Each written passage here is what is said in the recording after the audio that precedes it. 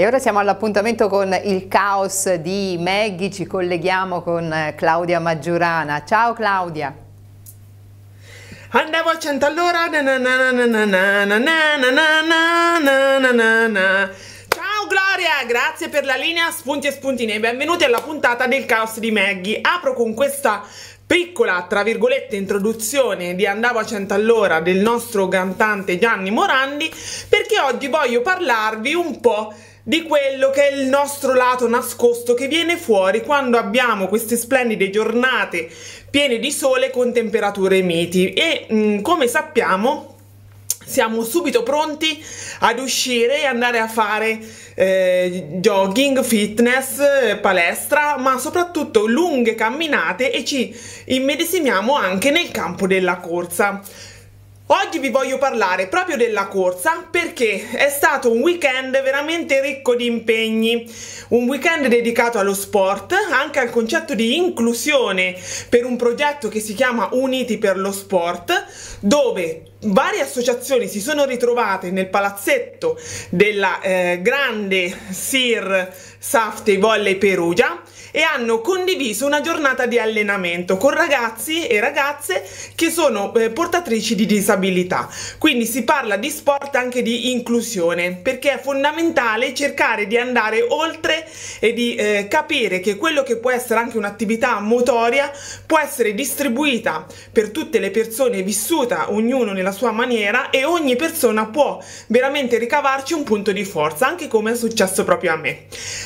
E invece, altro grande traguardo anche di eh, questo weekend è stata la grande maratona di San Valentino, cara Gloria, devi sapere che si è tenuta a Terni, dove ci sono stati all'incirca 1600 iscritti, una grande maratona ehm, fatta da professionisti ma anche da amatori che si sono cimentati nei 21, nei 42 km, nei 10 km competitivi, negli 8 e nei 5 non competitivi, quindi eh, dedicati gli ultimi due alle famiglie. Poi avevamo eh, anche la presenza di coppie in gara, quindi eh, di ehm, appunto persone che gareggiavano in due, la coppia arriva, che arriva al traguardo eh, viene poi premiata e, ehm, e infine i, appunto gli amatori, i professionisti e anche i non competitivi. Allora, ma quello che vi voglio dire oggi è questo. Eh, bisogna comunque anche per, nel caso del nostro sport avere un abbigliamento consono all'attività sportiva che si va a fare. Nel caso della corsa ci sono varie eh, filosofie, c'è chi eh, predilige correre, eh, diciamo, e quindi come anche professionisti, spalmando un olio riscaldabile sulla propria pelle che vada a, a tenere caldo il corpo e correre con canottiera o top e shorts, e, e chi invece decide un pochino, come gli amatori, di vestirsi un po' di più. E allora entriamo in questo mondo di colore dove troviamo una miriade di elementi che si possono comporre. Allora, innanzitutto molto utile, te lo voglio far vedere, è questo che io adesso l'ho indossato in testa. Eh, questo ha una doppia funzione. Può essere sia una fascia che noi possiamo mettere per capelli ma anche come vedi qui nel basso uno speciale scaldacollo. A seconda di come ci serve lo possiamo indossare.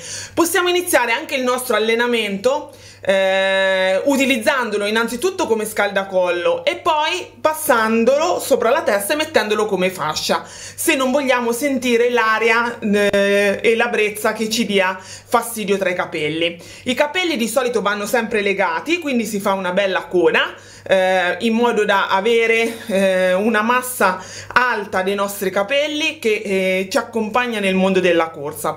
Io sono amante anche degli occhiali e come vedi indosso un paio di occhiali con lente trasparente che eh, anche nel caso poi del sole si scuriscono ma riescono a permettermi di correre bene e mm, non mi mm, danno alcun tipo di eh, mi danno eh, sostegno in quanto non, non tollero molto il vento.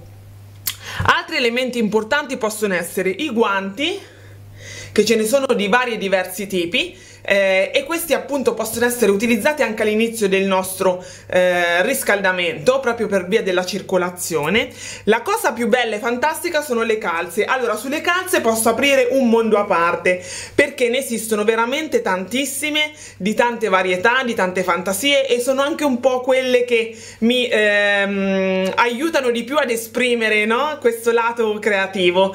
Eh, eh, queste sono delle calze fatte apposta sempre per, in aiuto di quello che è anche un discorso di circolazione, soprattutto se poi dobbiamo fare tanti chilometri, perché ci dobbiamo ricordare, Gloria, che eh, ci sono persone che corrono veramente tantissimi chilometri, quindi 42 chilometri sono veramente tanti e magari un paio di calze che possa aiutare per la circolazione è fondamentale.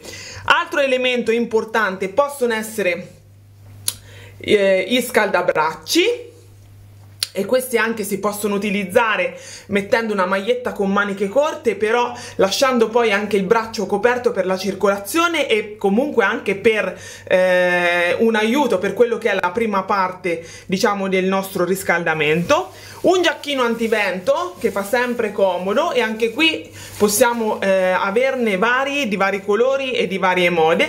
E poi per gli amanti diciamo di tenere tutte le cose in ordine abbiamo i marsupi piatti e questi sono ehm, molto importanti perché aderiscono ma ti lasciano perfettamente correre in quanto sono leggeri e non pesanti. Detto questo, eh, direi che siamo pronti per andare a fare il, il, nostro giorno di allenamento, per immergerci in questa natura con queste temperature primaverili che ci vengono donate e eh, mi ricordo una mente allenata e un corpo allenato fa una buona giornata, ma soprattutto ogni volta che si arriva ad un grande traguardo esce sempre il campione che è in noi. Ciao Gloria, grazie per la linea, per la trasmissione Spunti e Spuntini e ci vediamo alla prossima per il caos di Maggie. Ciao, alla prossima! Ciao Claudia, e già ti vediamo correre con il marsupio e gli unicorni che secondo me deve diventare un must. Grazie, grazie a te. E grazie anche a tutti voi che ci avete seguito. Spunti e Spuntini termina qui, ma torna domani alle 13.15 e alle 19 vi lascio con gli altri programmi di Teletruria. Ciao a tutti.